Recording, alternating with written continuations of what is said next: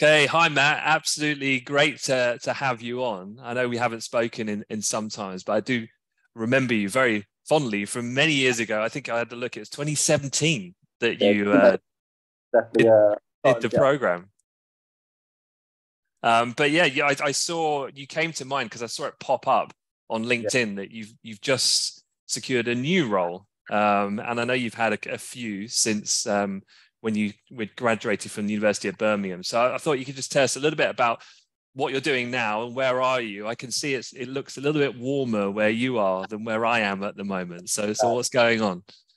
Sure. Um, so yes, I'm currently living in Monaco, um, working at a hedge fund here.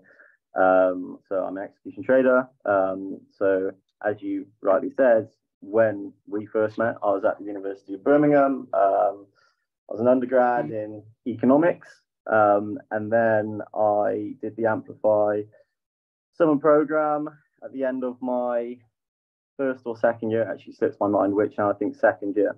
Um, and then following kind of going back to uni and completing my degree, um, I then started on the grad scheme at Credit Suisse, uh, where I was on the electronic trading desk. And then I spent three years there. Um, I think it was a year and a half in cash equities and then a year and a half in listed derivatives. And then I moved to Berenberg, uh, where I was on the high touch um, cash sales trading desk. Um, I spent just over a year there. And yeah, now I'm a trader at hedge fund in Monaco. Wow. And th- there's a couple of terminology points there. You said high touch and you said electronic trading. so maybe yeah. going in the order of reverse chronological order. So electronic trading at Credit Suisse. What what is that? Sure, yeah. So um, electronic trading or low touch trading um, is effectively trading through algorithms. Um, the reason why it's called low touch is you know, it does what it says on the tin.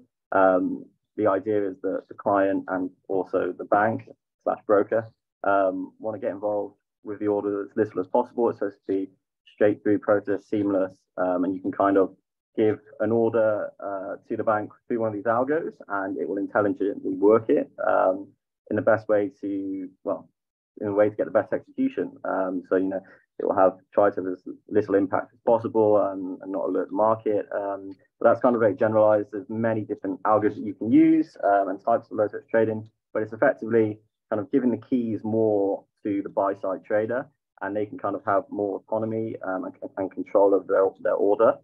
Um, whereas high touch trading again um, does what it says on the tin. It's very much kind of more personal, um, and you'll have a sales trader who you'll speak to, um, and you'll physically give him or her the order.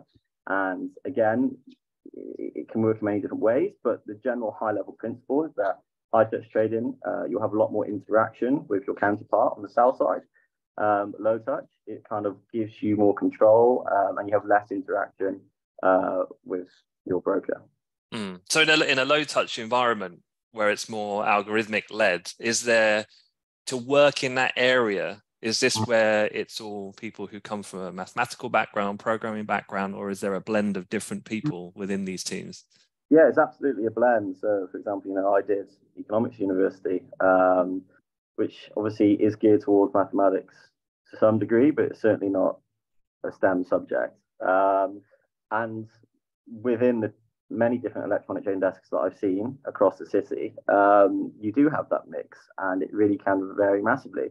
The way that electronic trading desks are generally split out is that you'll have kind of a sales slash sales trader function, and then you'll have a quant and development side of the business as well. And obviously, they all work seamlessly, hopefully, together. Um, but the quant and the development side of the team are naturally extremely kind of um, more technical and are engineers and computer scientists. And they build the product, they build the algorithms, they back test um, the algorithms and look at data um, all the time to see, you know, how they can improve the functionality of the algos. Um, whereas the sales slash sales trader function, obviously, you need to be able to understand kind of these technical principles, but you certainly don't need to have an in-depth um, STEM background. I, I know people who studied history um, and the arts who were working on electronic trading desk. So um, yeah. So, so going back to when you were graduating, Yeah. so when you were first doing applications and things like that, did you have it in mind that it was trading you wanted to go into? And then how did like the Amplify experience fit within that process?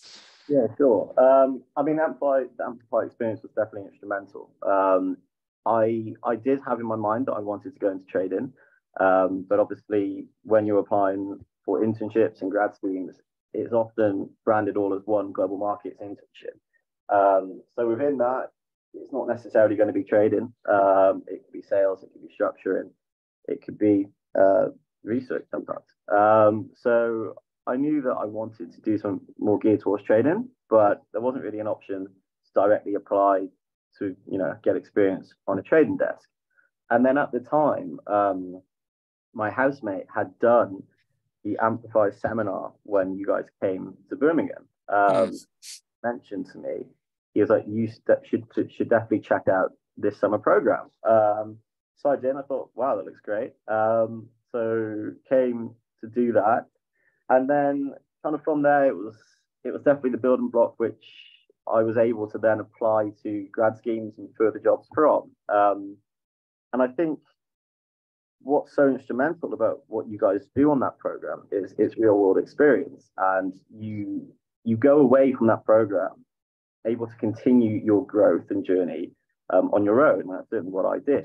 Um, I actually remember you telling me, uh, well, telling the class how um, you know you recommend even if you're just paper trading, keep kind of just a blog um, and a diary of exactly what you do, what your reason are to enter a trade, what your mm. stop level, like what your take profit level is going to be, what you're looking at, what the peers doing, etc., etc., etc. So that was something which I, well, so I cut forward a bit there, but after I finished the program, um, I was like, okay, this is definitely what I want to do for a career. And all the real world experience, and when I say real world experience, I mean actual trading experience in live markets, um, all that experience then allowed me to take that base layer away and just continually build on it uh, when I was back at uni. Um, obviously, jumping straight into learning to trade is extremely difficult um, because it's such an alien world and there's um, sorry can you can you hear that in the background? No no. Okay. All um, good um, yeah so jumping um, into trading is extremely hard because it's such an alien world with kind of quite tricky terminology and also just the barriers to entry are extremely high. So it's hard mm. to just jump in and get an understanding. And of course, there are sources of information out there, but also on the other side, there's so many sources and some of them aren't necessarily reliable. So you don't really know where to start. And Amplify really does provide that succinct package of expert knowledge, which allows you to understand what is going on in the market. Um, so, like I said, after I left Amplify, I was like, okay, it's definitely what I want to do. So then I just continued to kind of trade my own book.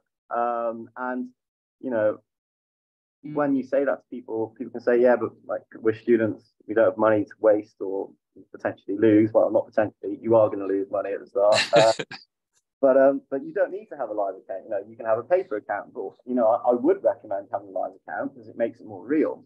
But also, you don't have to have a large account at all. Hmm. You, know, you start with like 50 quid or something. And, you know, like, I don't want to sound, you know, out of touch to anybody at all, but most hmm. people as students can can find 50 quid somewhere. Um, so hmm.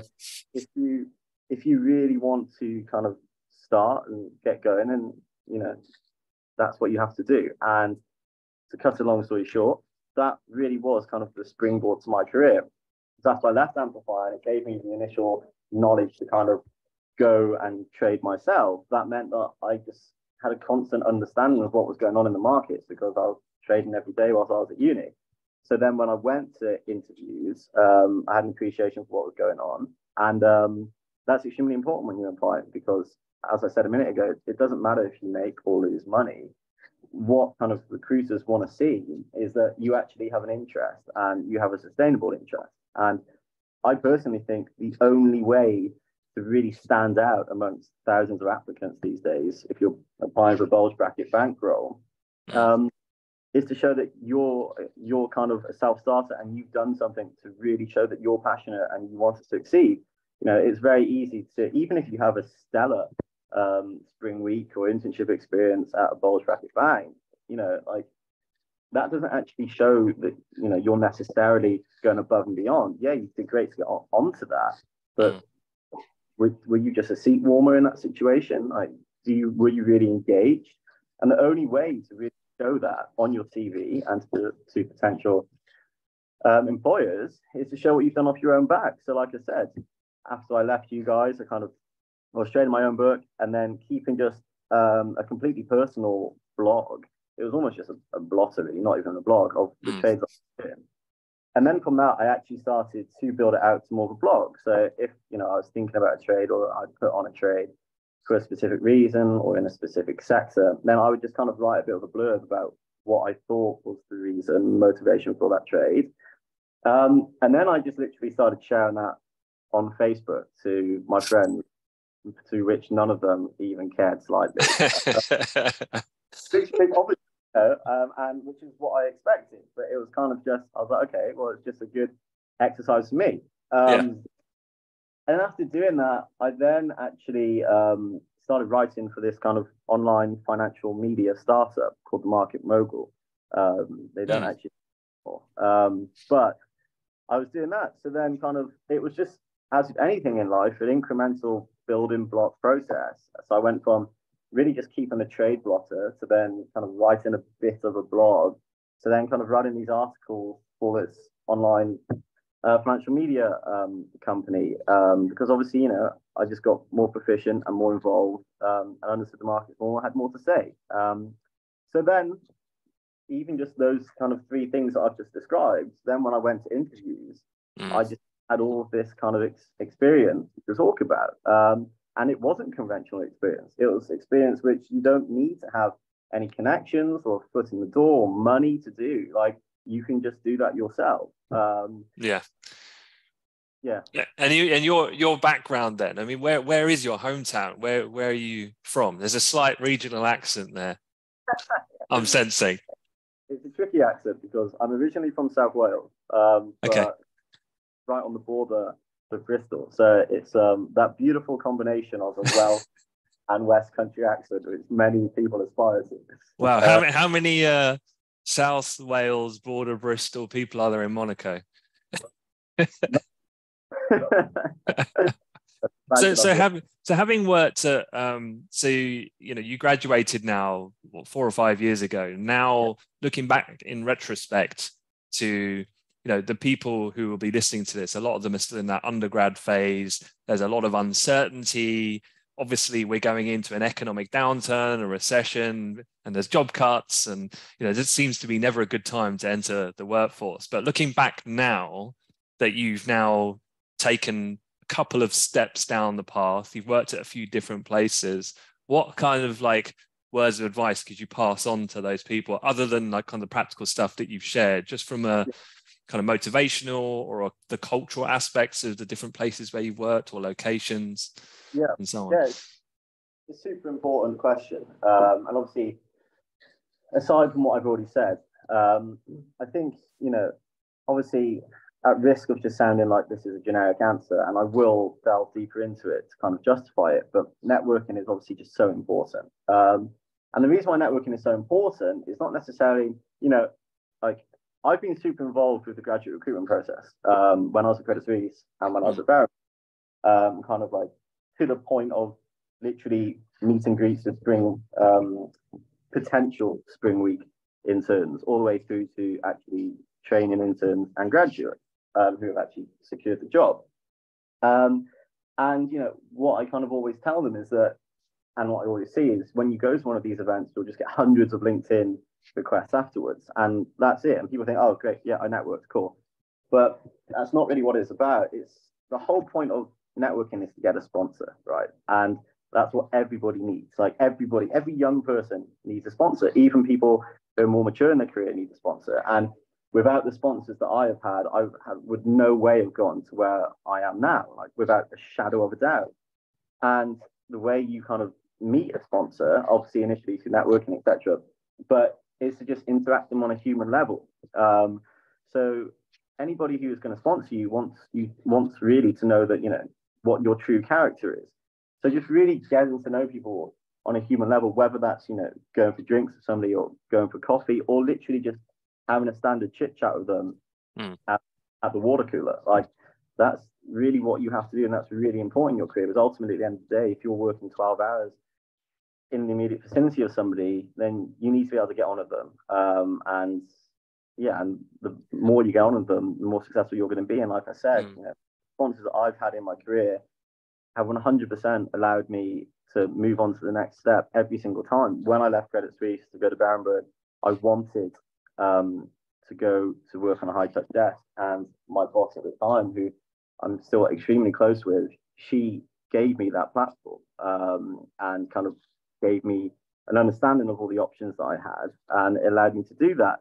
And then the same thing when I left Berenberg. Um, people kind of knew that I was destined to work on the buy side instead of the sell side, and I was supported to do that. Um, and you know, if you don't have the sponsors to do that, then it just makes it extremely difficult. Um, so that's definitely a salient bit of advice, which I would just say is so so key. Um, and then the other thing which again I would always kind of tell um, undergrads is that you just have to really be sure that this is exactly what you want to do. Um, and, it's absolutely fine to not be sure and do a spring week or do an internship and say, oh, okay, fine, it's not for me. But I've seen plenty of people who do a spring week and do an internship and then get a graduate job offer and they take it and you can tell it's not for them and they kind of know it's not for them but they stick at it they persist and it just doesn't work because ultimately this is an industry but if you don't actually enjoy what you're doing then it's almost impossible to do this job because it's extremely intense the hours are long like like the, the hours are extremely long you know that's just in trading. If you're working on the investment side then it's all it's all it's all all your life is like to, at the start at least anyway. Um so you definitely have to be sure this is what you want to do. And this comes back to my first point of kind of being a self-starter whilst you're at uni and getting as much experience as you can, just through whether that be something as rudimentary as reading the FT or kind of reading Bloomberg's news articles or like, well, look at Twitter these days, right? FinTwit actually just such a huge source of news now, which the professional community uses much as the retail community. Obviously, that's partly driven by the fact that the retail community is now so inherently linked to the professional community, but everything is on Twitter. Like like research reports are going to be on Twitter. Kind of outlook pieces are going to be on Twitter from big banks. Everything is on Twitter. Um, so you know you can just get stuck in there for for absolutely free, and then that will tell you whether you're interested in the industry or not by just actually having a look. Um, so, yeah.